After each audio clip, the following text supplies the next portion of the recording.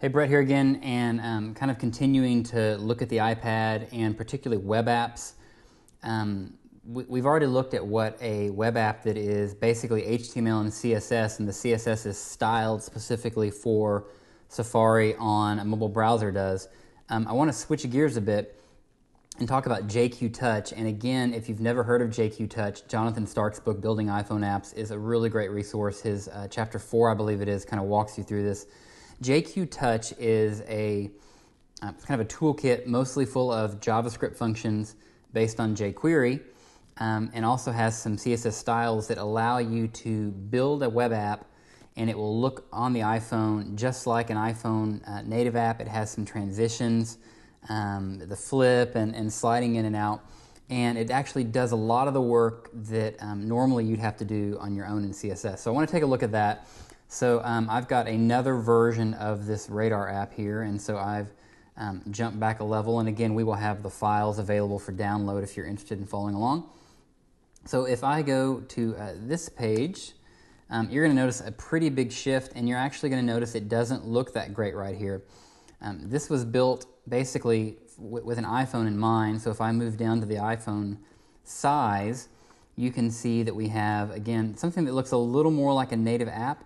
Um, this about button right off the bat is not something that, that is trivial to get with CSS and everything else, but what's really hard to get is um, that little thing. And that flip functionality is, um, is not something you want to be spending your time coding. So we've got that. We've also got all these links that now slide in and slide out, and a couple of other tweaks that JQ Touch does. Um, this back button here um, is completely handled by JQ Touch. I don't have to code it. I basically create a link and give it a, a particular class, and JQ Touch handles all the styling. Now, the other really kind of cool thing about JQ Touch is that as good as it looks on a small web browser, it actually works even better on the iPhone. So I want to switch over to the iPhone here in a second and we'll look and see how JQ Touch does compared to what we've already seen with just straight CSS. And then again, we're going to have this weird middle ground where the iPad kind of looks right but kind of doesn't. So let's check this out on the devices. So back to the iPhone again, and here's our old HTML and CSS app. Um, we should see big time changes with JQ Touch because we're going to get not just a look and feel that's um, specific to the iPhone, but really the animations, the transitions, and so forth. So I've bookmarked that too conveniently.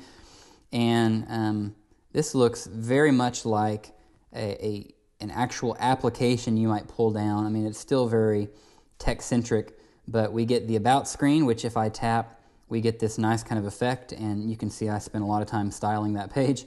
But um, the main thing is to see you get this Apple effect. And then if you go to, for instance, open source, it's going to slide over there.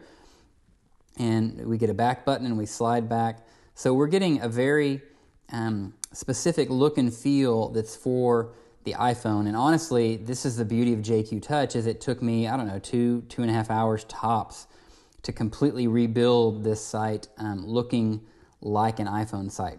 Now, the, the question is, what do we get on the iPad? So let's check that out. So let's look at this thing on the iPad. Um, we're going to get another hybrid experience, but what exactly does that look like? Um, if you go to this thing, right away you get a little bit of both worlds. And, and what I mean by that is you get a logo that is clearly optimized for a small device and, and just isn't quite positioned. And honestly, we could fix that with CSS, that's no big deal. Um, the About button looks right, and we do get a nice transition. So that is um, pretty good and clean. Now, uh, obviously, the elephant in the room is this giant black space below hand, and that's a big problem. Um, we'll come back to that you still do get this um, forward and backward behavior, um, but there is a little bit of flashing. Did you notice that? Let me let me show you that again. And that's because you've got um, some stuff being loaded and then and then hidden. And the iPhone, you don't get that as much. It's just the way the library is implemented. Um, if I go to emerging tech, for example, we get a back button, but now again we've got some styling issues. And the other thing that happens is um, a lot of this stuff doesn't look right because we had styled it with our iPhone.css. Now, again, you've already seen all this uh, in the previous video focusing on CSS. We could hide that, but then you've got this weird hybrid behavior of do you hide it for the iPhone and the iPad, or do you, you know, only show it on the iPhone? What do you do, you know, if you, if you go into portrait suddenly? um, you just have a lot of considerations that are a problem with really what amounts to a hybrid device. Um, and, and what we're going to find out is that it's actually even more difficult when you introduce JQ Touch. Um, trying to charge, isn't it? It's even more difficult when you introduce JQ Touch because it's going to take some control away. So let's look at let's look at that because you're going to find out that unlike with pure CSS, we can't just change this at will like we could earlier. So once again, we have this weird kind of hybrid thing happening with the iPad where it's uh, wider than 480 pixels, and so you don't get the iPhone feel, but you get this weird kind of browser feel. And in this case, uh, in some ways, that's even more distracting because JQ Touch is giving us this sort of odd. Um, you're on a web browser, but it feels like they think you're on a mobile device. Uh, now, the problem with JQ Touch as opposed to CSS, where we could muck with all this, is the benefit you get of all these slide ins and slide outs and animations is kind of counterbalanced by the loss of control you have. So um, let's look at these files and you'll see what I mean. I'm going to open up index.html, which is the, the main work here. And if you look here, we've got some JQ Touch CSS files. So we've got um, the main one, and then we have a theme, and you can change the themes out. You can build themes that look good on Apple or across Android and so forth. Um, and then we do have our iPhone CSS, which is doing some things that are specific to the iPhone. But keep in mind that that's only um, that particular style sheet. The JQ Touch stuff applies across the board. And then we have this JavaScript. So you have jQuery, and then you have JQ Touch. Um, now, what's kind of what's kind of interesting about all this is that um, you don't have the ability to say, "Hey, only load this CSS style sheet." If you're 481 to 1024 pixels because, right?